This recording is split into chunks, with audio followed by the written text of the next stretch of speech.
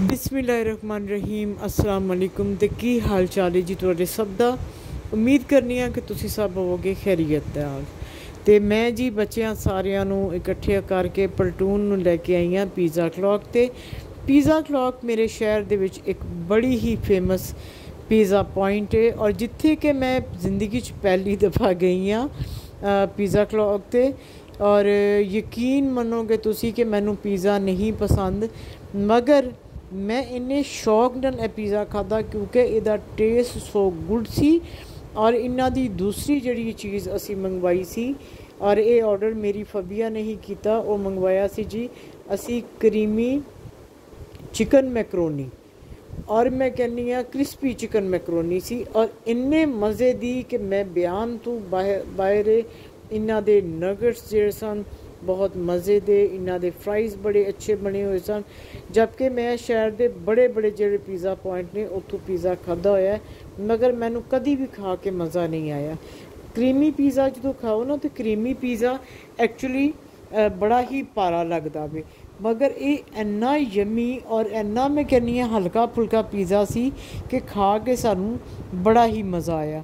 ਇੱਥੇ ਮੇਰੇ ਨਾਲ ਜੀ ਸਿਦਰਾ ਸੀ ਫਬੀਆ ਏ ਈਸ਼ਾ ਲੇ ਜ਼ੀਮਾ ਲੇ ਅਕਸਾ ਏ ਅਕਸਾ ਬੱਚੀ ਜਿਹੜੀ ਹੈ ਉਹ ਭਾਈ ਦੇ ਡਰਾਈਵਰ ਦੀ ਬੇਟੀ ਹੈ ਔਰ ਜਿਹੜਾ ਡਰਾਈਵਰ ਹੈ ਉਹਦਾ ਬਾਊ ਉਹ ਸਾਡੇ ਘਰ ਦਾ ਫੈਮਿਲੀ ਮੈਂਬਰ ਹੈ ਕਿਉਂਕਿ ਉਹ ਬਹੁਤ ਛੋਟਾ ਸੀ ਜਦੋਂ ਸਾਡੇ ਘਰ ਆਇਆ ਔਰ ਉਹਦੀ ਸ਼ਾਦੀ ਵੀ ਫਿਰ ਅੰਮੀ ਨਹੀਂ ਕੀਤੀ ਨਾਦੀਆ ਜਿਹੜੀ ਹੈ ਉਹ ਅਕਸਾ ਦੀ ਅੰਮੀ ਹੈ ਔਰ ਬਾਉ ਦੀ ਬੀਬੀ ਹੈ ਅਕਸਾ ਜਿਹੜੀ ਹੈ ਉਹਦੀ ਬੱਚਿਆਂ ਨਾਲ ਬੜੀ ਦੋਸਤੀ ਹੈ ਅਕਸਾ ਦਾ ਜਿਹੜਾ ਨਾਮ ਹੈ ਉਹ ਮੇਰੀ ਅੰਮੀ ਨੇ ਰੱਖਿਆ ਸੀ।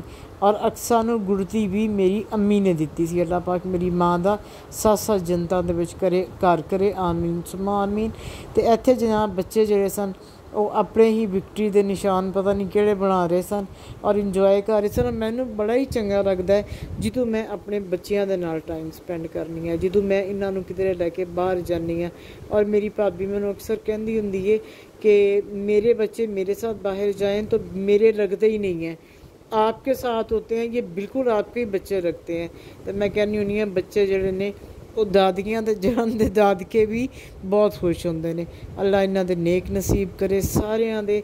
ਔਰ ਇੱਥੇ ਜਨਾਬ ਬੈਠੇ ਬੱਚੇ ਆਪਣੇ ਖਾਣੇ ਦਾ ਕਰ ਰਹੇ ਸਨ ਇੰਤਜ਼ਾਰ।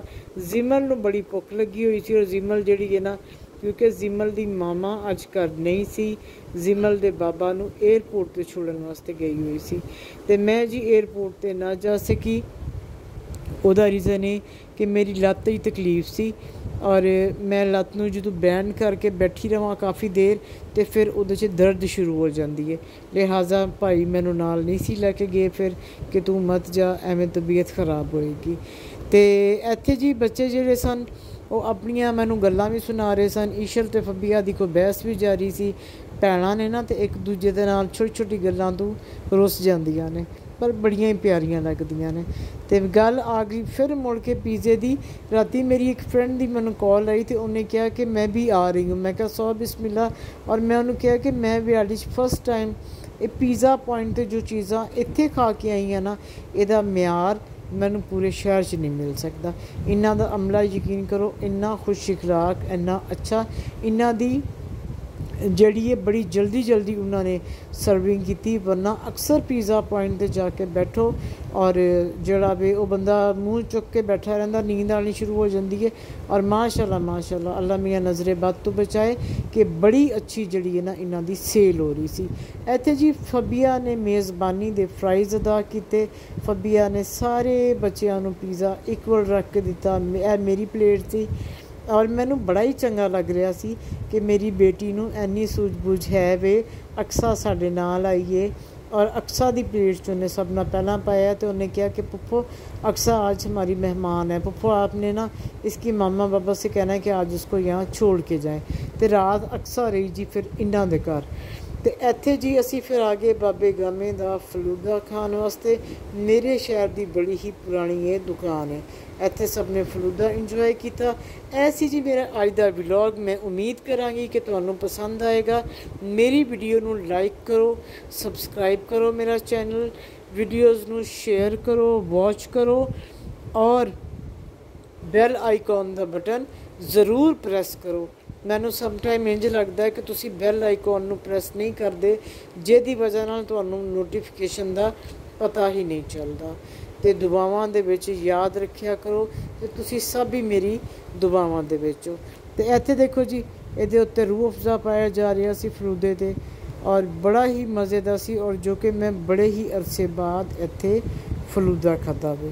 ਤੇ ਇਹ ਦੇਖੋ, ਇਹਦੇ ਚੋਂ ਫਲੂਦਾ ਕੱਢ ਕੇ ਉਹਦੇ ਵਿੱਚੋਂ ਪਿਆਲੀਆਂ ਚ ਪਾ ਰਹੇ ਸਨ।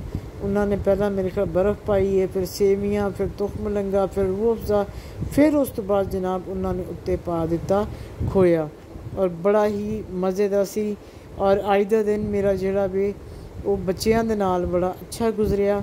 ਬੱਚੇ ਮੇਰੇ ਤੇ ਉਦਾਸ ਹੋਏ ਹੋਏ ਸਨ। ਉਹਨਾਂ ਦੇ ਨਾਲ ਮੇਰੀ ਵੀ ਕੋਈ ਇਹੋ ਜਿਹੀ ਹੀ ਸੂਰਤ ਹਾਲ ਸੀ।